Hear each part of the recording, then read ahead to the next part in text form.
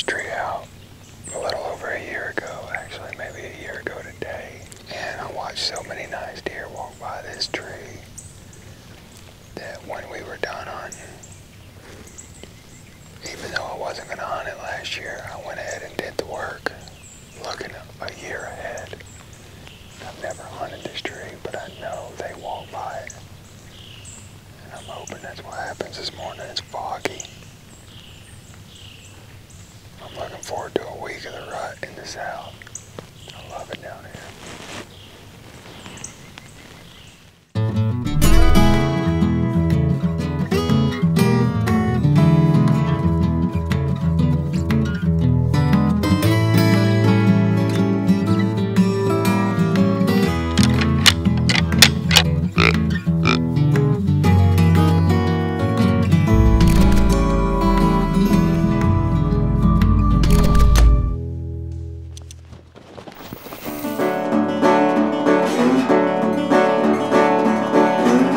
So I think the rut in general is kind of feast or famine in a lot of places and especially when those does start locking down. But normally there's enough bucks here that you don't see lockdown or don't see it as much as you would like in Kansas or Illinois or somewhere like that.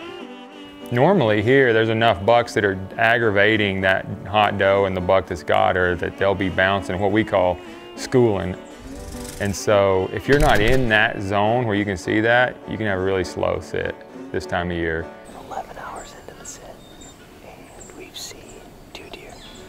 And then at the flip of a switch, it can go insane, you know, in just a matter of seconds. I think you gotta be willing to sit long hours and have some really slow days when it's at this phase of the rut, but know that the buck you're after, deer of a lifetime, could appear at any second.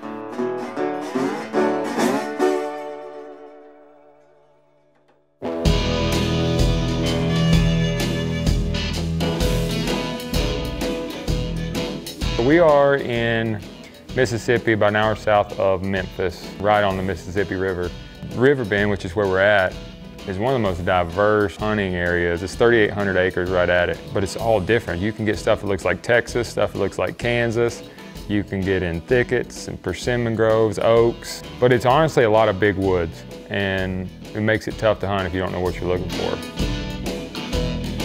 I think Mississippi's cool for a number of reasons. One is when their rut falls. So, you know, we're here right now, second week of December, and we're kind of on the tail end of it. So what makes it really cool and unique is, you know, you can kind of chase that core Midwest rut through November, and then you come here and you have another incredible rut experience in December. It's also a three buck state, so there's a lot of opportunity in terms of, you know, being able to fill some tags. So I think the combination of like the late rut and the opportunity with tags makes it a really great option to extend your whitetail season.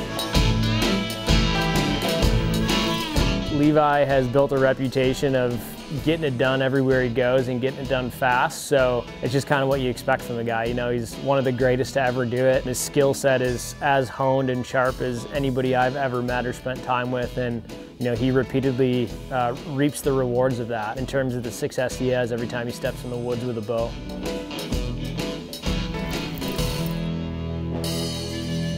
What's up, buddy? You made it. Welcome to Mississippi, huh? Yeah, this is Riverbend, man. place- Way in here. The place looks incredible. Yeah, it's different. I mean, you're like two miles from a paved road, so It's quite the driveway in. if that's what you want to call it, more like a four-wheeling trail, but it helps keep people out of here for sure. Dealing with a little bad weather coming, but I mean, it's the rut. Anything can happen.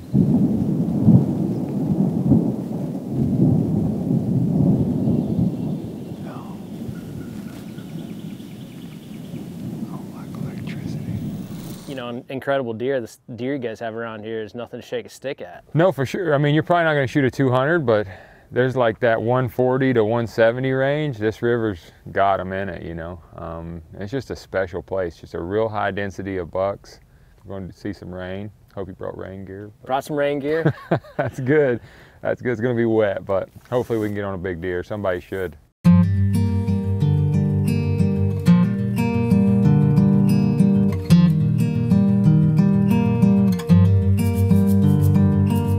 The ability to share camp with Levi and his brother and you know some of his longtime friends, it's It's hard to describe. I mean, at Levi's core, he's just a great human being, you know, and I've kind of thought that since the first time I met him. You know, we've had a relationship for a number of years now, and somebody like Levi, who's at the absolute top of his game, the best archer in the world, some would say the best hunter in the world, And don't get any more dead center than that. really wants to, you know, share in his success, really wants to continue to build relationships and, you know, have the type of community that he's surrounded himself with and in these hunting camps and in life and getting the opportunity to share a hunting camp with him here in Mississippi in December. It's a great experience and it's one of the coolest things I get to do in my position with First Lite is build those relationships and share these experiences with people like Levi.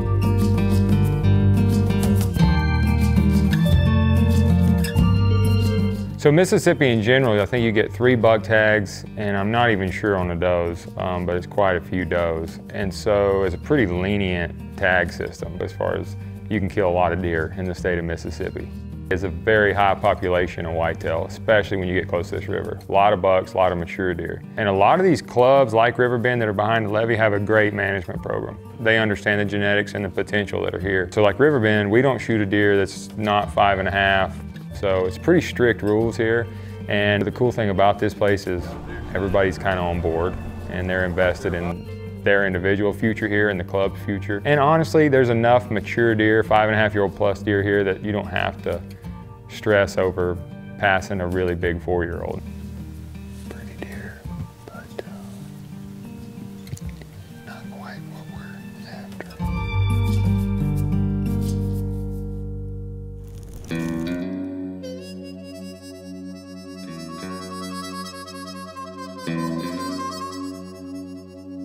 One of my really good friends, Andy Morgan, uh, has been a member here for a long time, and uh, he brought me here as a guest four or five years ago. And he always talked about this place, and he'd call me, send me pictures of the deer he's hunting, and I'm just like, holy smokes. And I kind of fell in love with the Mississippi River Delta and Louisiana, Arkansas, this whole river bottom like 12 years ago. I started hunting down here. So I really knew how good this river bottom can be. And so when he brought me down as a guest, I shot a deer like second sit with him that year and fell in love with Riverbend.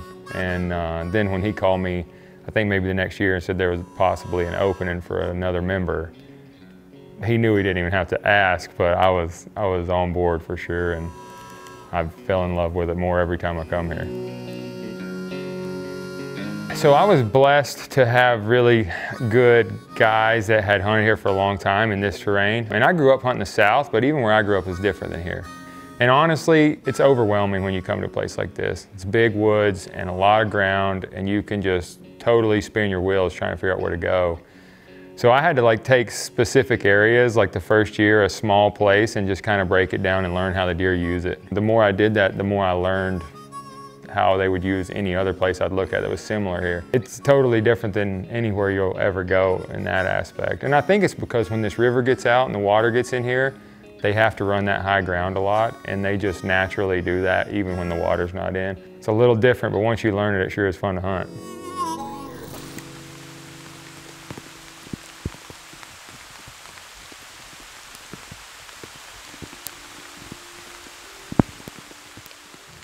All right, guys, day three, Mississippi. We came to a new part of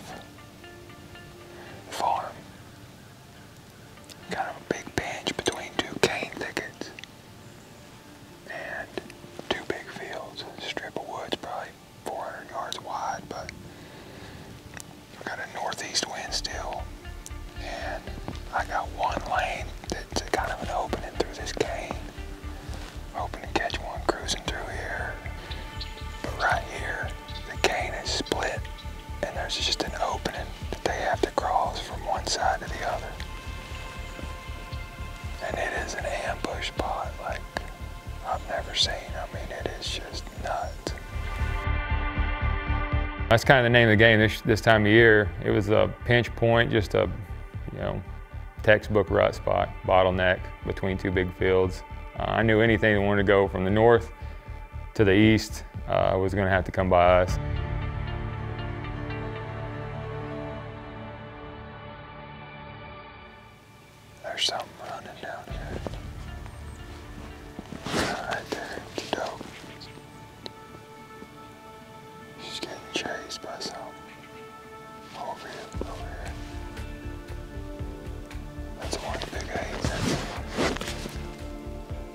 Yeah, that's a giant right there.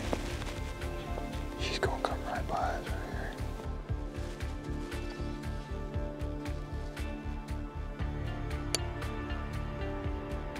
here.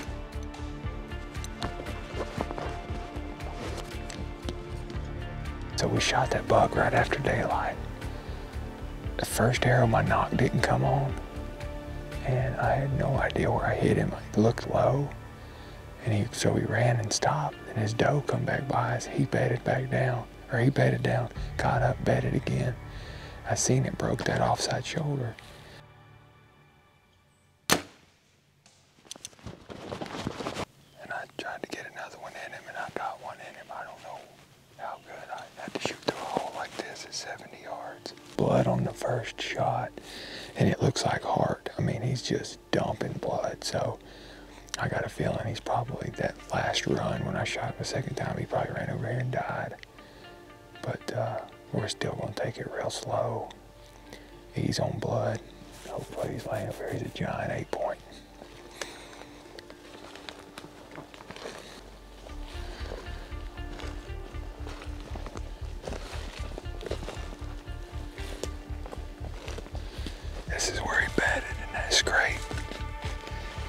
He, bedded right here. This is where I shot him that second time. He bedded in this scrape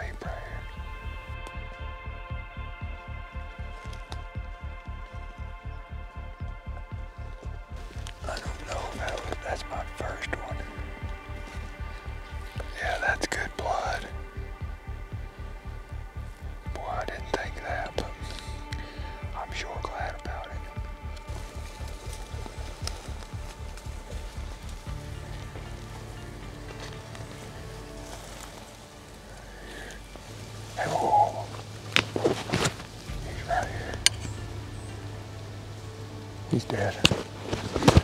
He's dead, right? It's been a long rut, but we've got a giant on the ground now. Holy smokes. Oh, here's my arrow broke off. Yeah, let's stay there. Man, I remember, I've got so many pictures of this deer. Holy smokes, y'all. Well, that's a big Mississippi eight point right there. Man, I was getting worried.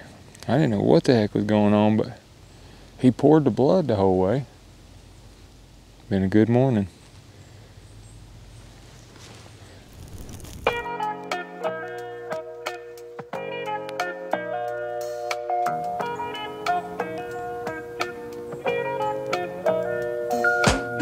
The South has definitely further educated me in terms of what I need to build product for whitetail hunters. Sometimes whitetail hunters kind of get clumped into this very small or narrow category of Midwest whitetail hunting. And while that is, you know, the Heartland is a place, a great place to hunt whitetails, there's so many other incredible places like Mississippi, for example, where the rut conditions and hunt conditions are just different, right? The temperatures that you know somebody's going to experience hunting whitetails in Mississippi in December is very different than somebody might be, you know, who's hunting whitetails in northern Minnesota in November. It's just a different set of conditions, both temperature-wise, but also just, you know, the habitat that these critters live in. And those different sets of conditions really make necessary different types of gear. When somebody spends as much time in a tree chasing whitetails and other critters, you know, as Levi does. You know, that guy's got more days in the tree in the last month than probably most people have their entire season. So the level of expertise that that guy has when it comes to chasing mature whitetails and being successful, no rock goes unturned in terms of how he hunts and his skill set. And I think that also is true of his ability to provide feedback on products. So, you know, when somebody as good as he is and as smart as he is speaks and gives feedback, I definitely listen. The rut is special. It can be frustrating, feast or famine. Really hard to pin down a specific buck, but after all that, it's still my favorite time of year to be in the woods hunting whitetail, Mississippi River whitetail, and uh, the rut claims another one.